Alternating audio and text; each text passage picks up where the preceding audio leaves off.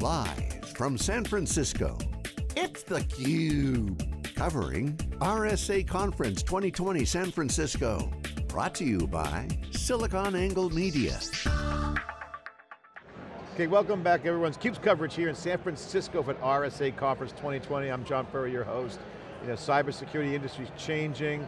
Enterprises are, are now awake to the fact that it's now a bigger picture around securing the enterprise, because it's not only the data center, it's cloud, it's the edge, a lot of great stuff. We've got a great guest here from Dell, EMC, Pete Gerr, consultant, cyber resilient solutions and services marketing uh, at Dell EMC. Great to see you, thanks you for coming too, on. John, good to see you again, so, thank you. you know, I was joking with Dave Vellante just this morning around the three waves of cloud, public cloud, hybrid cloud, multi-cloud. Yep. And we see, obviously, the progression. Hybrid cloud is where everyone spends most of their time. Yep. That's from ground to cloud, on premises to cloud. Yep. So pretty much everyone knows On that on, kind of. on-prem is not going away, validated by all the big cloud players, but you got to nail the equation down from on-premises to the cloud, whether it's Amazon, Amazon, Azure, Azure, whatever, all those clouds. But the multi-cloud will be a, a next generation wave. Yep. That is an industry backdrop is very, very key. Plus, AI and data Mm-hmm. are huge inputs into solving a lot of what is going to be new gaps, blind spots, whatever in security. So I got to, you know, Dell's has a history with huge client base, traditional enterprises, transforming. You're in the middle of all this. So you Mm-hmm. got, you know, the airplane at three to 30,000 feet, Yep. and the companies have to swap out their engines and reboot their teams, and it's a huge task. What's going on with, with cyber and the enterprises? What are, what are some of the key things? Well, so I like to keep it pretty simple. I've been in this industry over 20 years and I've really consistently talked about data as the global currency. Right, so it's beautifully simple. Whatever industry you're in, whatever size company you're in, enterprise, or even now, small to medium businesses, their businesses are driven by data. Connectivity to that data, availability of the data, integrity of the data, and confidentiality of the data. And so the sort of the area of the world that I focus upon is protecting customers' most valuable data assets, now whether those are on-prem, in the cloud, or in a variety of, of modalities, and ensuring that those assets are protected and isolated from the attack surface, and then ability to recover those critical assets quickly so they can resume business operations. That's really the area that I work in. Now, that data, as you pointed out, it, it could start on-prem, it could live in multi-cloud, it can live in a hybrid environment. The key is really to, to understand that not all data is created equally. If you were to have a widespread cyber attack, really the key is to bring up those critical applications, systems, and data sets first Yeah. to return to business operations. Yeah, it's funny, It's you know, really challenging. You know, it's, it's, it's not funny, it's actually just ironic, but it's, it's, it's, it's really kind of indicative of, this, of the society now is that EMC was bought by Dell, storage, and the idea of disruption has always been a storage concept. Yes. We, want, we don't want a lot of disruption when we're doing things, right? So, None. You know, whether We it's backup and recovery or cyber ransomware, whatever it is, the idea of non-disruptive operations has been a core tenet. Now that's obviously the same for cyber, as you can tell. So I got to ask you, Yep. what is your definition and view of cyber resilience? Because well, that's what we're talking about here, cyber Yes. resilience.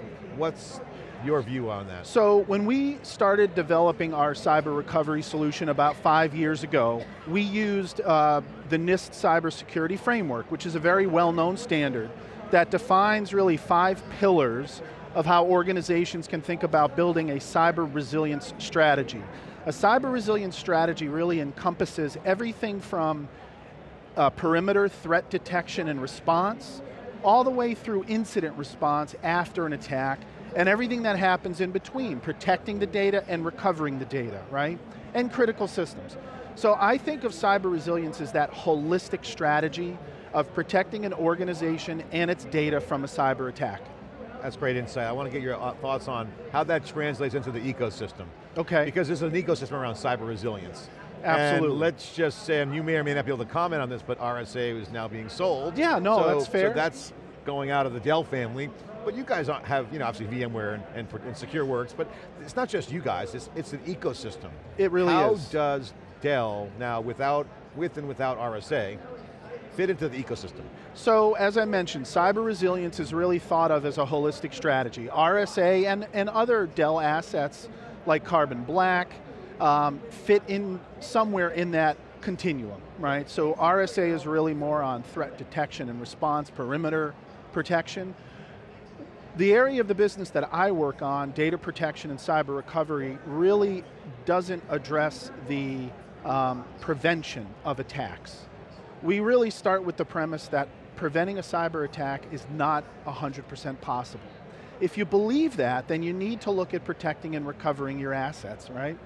And so, whether it's RSA, whether it's Carbon Black, whether it's SecureWorks, which is about cyber incident and response, mm -hmm. we really work across those groups. It's, it's yeah. about technology, processes, and people. It's not any one thing. We also work outside of the Dell Technologies umbrella. So we integrate our cyber recovery solution is integrated with Unisys Stealth. Uh, so there's an example of how we're expanding and extending the cyber recovery solution to bring in you know, yeah. other industry standards. You know, it's interesting, I talk to a lot of people that come on the cube, especially here at RSA. Sure. You know, everyone wants better technology, but there's also a shift back to best of breed. Because you want to have the best new technology, at the same time, you got to have proven solutions. That's so I got So what are you guys selling? What is the best of breed from uh, Dell yeah. that you guys are, are, delivering to customers? What are some of the areas? So I, I'm old EMC guy myself, right? And, and back from the days of disaster recovery and business continuity, right? More traditional data protection and backup. The reality is that the modern threats of cyber, of cyber hackers, breaches, insider attacks, whatever you like, those traditional data protection strategies weren't built to address those types of threats. So along with transformation and modernization, we need to modernize our data protection. That's what cyber recovery is. It's a modern solution to the modern threat. And what it does is it augments your data, uh, your, excuse me, your disaster recovery and your backup environment with a purpose-built, isolated air-gap digital vault, which is built around our proven data domain and PowerProtect DD platforms uh, that you know have been around for over a decade.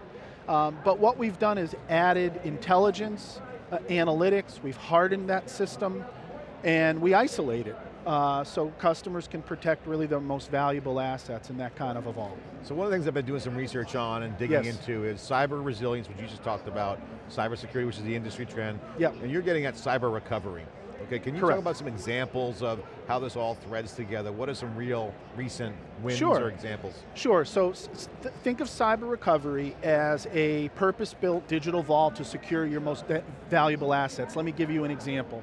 One of our customers is a uh, global paint manufacturer, okay? And when we work with them to try to decide what of their apps and data sets should go into this cyber recovery vault, we said, what is the most critical intellectual property that you have. So in their case, and you know, some customers might say my Oracle financials or my Office 365 environment. For this customer, it was their proprietary paint matching system. So they generate 80 to 100 million dollars every day based upon this proprietary paint matching system which they've developed and which they use every day to run their business. If that application, if those algorithms were destroyed, contaminated, or you know, posted on the public internet somewhere, that would fundamentally change that company. So that's really what we're talking about. We're working with customers to help them uh, identify their most critical assets, data, systems, applications, and isolate those from the threat vector. Obviously all verticals are impacted by cybersecurity. Every vertical is data driven, that's and right. so obviously the low hanging fruit, are they the normal suspects, financial services? Is there is there a particular one that's hotter than, I mean financial services got fraud and all that stuff on it, but yeah. that, that's still number one or what? So I think there's two sides to the coin. One, if you look at the traditional enterprise environments, absolutely financial services and healthcare because they're both heavily regulated. Uh, therefore, that data has very high value and is a very attractive target to the would-be hackers. If you look on the other end of the spectrum though, the small to medium businesses that all rely on the internet for their business to run, yeah. uh, they're the ones that are most susceptible because they don't have the budgets, the infrastructure, uh, or the expertise yeah. to protect themselves from a sophisticated hacker. Yeah. Um, So we, you know, we work across all verticals. Obviously, the government is also very susceptible to cyber threats, but Yeah. it, it's every industry, any business that's data driven. I mean, everyone's been breached so many times, and no, one even knows how many times. Uh, I got to ask you about Yep. um, um, some cool trends we're reporting on here. Sure. Homomorphic encryption is getting a lot of traction here because financial services and healthcare. two- Homomorphic? homomorphic, yeah. Okay. Um, did I say that right? Hom- hor- It's the first time I've ever heard that term, John. I, It's encryption at in use. So you have data at rest, Yep. data in flight, and data in use. So it's Okay. encryption when you're doing all, you're protecting all your transactional data. Ah, so it's full okay. encryption with Discovery. Intel is promoting it. Uh, we just covered a startup that's doing that as yeah, well. that's new. That's new for me. But it yeah. allows for more use cases, but data in use, not just motion or Yep, in I flight, get whatever it. you call Yeah, it. static. Yeah, So that's really- opening up these whole things, but it brings up the why, why that's important. And the reason is, is that financial services and healthcare, because they're regulated, Yes. have systems that were built many moons ago or generations ago. Absolutely. So there was not these problems that you mentioned earlier, like these, that, that were built for that. Correct. But now you need more data. AI needs sharing of data. Sharing's a huge deal. Real-time sharing, Real-time right? And I think that's where the homomorphic encryption comes in. That's exactly right. So you, you mentioned that. So these industries, how can they maintain their existing operations and then get more data share? Do you have any insight into how you see that? Because that's one of those areas that's, that's becoming like, okay, HIPAA, we know why that was built, but it's also restrictive. Yes. How do you maintain the purity of a, of a process? if, if your infrastructure is, is old, that is, that is a challenge, healthcare especially, because, I mean, if I'm, if I'm uh, you know, running a health system, every dollar that I have should really go into improving patient care, not necessarily into my IT infrastructure.